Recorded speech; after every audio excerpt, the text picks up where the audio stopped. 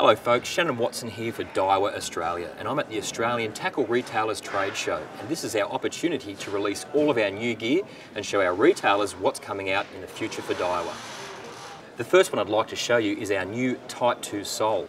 Now the original Sol was an absolutely legendary reel. It's been a fantastic product and we've brought out the new version, this one here. Now the, the, new Type 2 Sol has an aluminium body, it has a lighter weight air rotor, and it also has the fantastic mag sealing system that prevents water penetration getting down the main shaft or under the rotor into the gears of your reel.